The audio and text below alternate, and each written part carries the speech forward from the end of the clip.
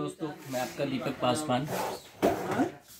आज, कल सर्दियों का सीज़न है और मुझे लगा कि एक कस्टमर की डिमांड है, एक अच्छा लंच बॉक्स मिल जाए।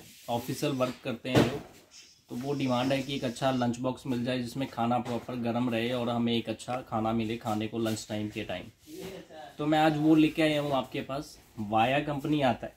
ये वाया ब्रांड आता है, जिसमें आप प्रॉपर खाना गर्म रख सकते हो और क्वालिटी की बात करें तो बड़ी सुपीरियर क्वालिटी है जी। इसमें दो वाला लंच बॉक्स भी आता है, तीन वाला भी आता है और चार वाला भी आता है। मीन्स कि चार कंटेनर के साथ, तीन कंटेनर के साथ और दो कंटेनर के साथ। ठीक है जी? क्वालिटी की बात करें तो क्वालिटी बहुत अच्छी है ईजी क्वालिटी है। ठीक है जी? और ये ऐसे निकल आता है। इसमें आप जो क्वालिटी देखेंगे, ये कॉपर फिनिश के अंदर आता है। तीन सौ का एक बाउल होता है, ये कंटेनर होता है। तीन सौ ठीक है जी? खोलना भी बड़ा आसान है, ऐसे खोल सकते हो। ये पार्टीशन बन जाता है। ये आप पार्टीशन बना सकते हो इसमें।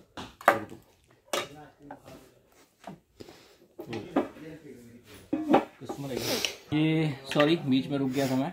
ये पार्टीशन बन जाता है। ये इजीली आप इसको पार्टी, पार्टीशन बना सकते हैं ऐसे।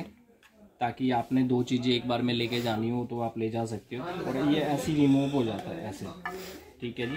क्वालिटी बहुत अच्छी है। हॉट टिपन है। हॉट लंच बॉक्स है। कैरी करना बस बड़ा आसान है और रखना भी और लॉकिंग भी बड़ी इजीली है। ऐसे आप लॉक कर सकते हो। और सबसे ख़ास इसमें मुझे लगा कि इसको कैरी करने के लिए ये ब्रांड आपको एक बैग देती है। ठीक है जी? आप इसको, इसमें ख़ास क्या मुझे लगा कि आप ए कहीं पे बैठे हो या खाना खाना है तो इसको एज आप मैट बना सकते हो खाने के लिए। स्पूंस के लिए भी स्पेस है। इसमें आप स्पूंस रख सकते हो। और ये ऐसे मैट बन जाता है। और इसको फोल्ड करते हैं आप ऐसे। ये यहाँ से बंद हो जाता है ऐसे बंद करने के बाद ये लंच बॉक्स है। इजीली इस बैग के अंदर आ जाता है ऐसे